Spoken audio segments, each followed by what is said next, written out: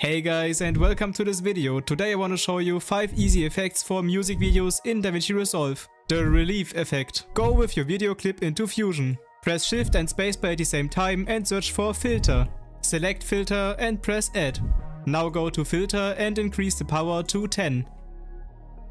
After that decrease the blend to 0.7. Then play around with the angle slider and set the angle to your liking. Okay, after that drag and drop a background node into the node field. Connect the background node with the filter node. Left click your merge node and change the operator from over to under. And that's it. The ink drop effect. For this effect you will need some ink drop footage which is linked in the description. After you've downloaded this footage, go drag and drop the footage into your timeline. Select the ink drop footage, go to inspector and change the composite mode from normal to add. And that's it. You can also use this effect as a transition. But for now we will move on to the next effect, to the blanking fill effect. First of all, go with your video clip into Fusion. Press shift and spacebar at the same time and search for blanking fill. Select blanking fill and press add. Now you have to adjust the borders to your liking. Now go into the inspector and change the blend edges value to 1. Then decrease the blur background to 0.3 and play around with the fade amount slider. And you can also change the color to your liking by clicking into this field. And here you only have to change the color. Then hit the OK button and the effect is done.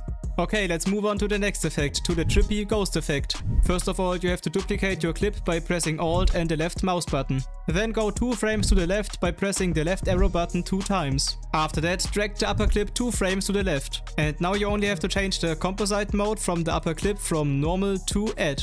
And the trippy ghost effect is done. So now we will move on to the next effect, to the glowing rays effect. Again, for this one you have to duplicate your clip by pressing Alt and the left mouse button. Then go to the Effects tab and go to OpenFX. Search for Glow. And drag this glow option onto your upper clip.